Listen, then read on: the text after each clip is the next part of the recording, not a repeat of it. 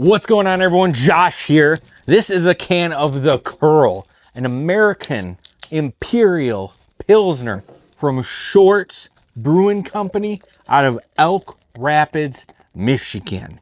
It's Monday. The Lions won. We're going to the NFC Championship. No review for today. We'll see you in San Francisco.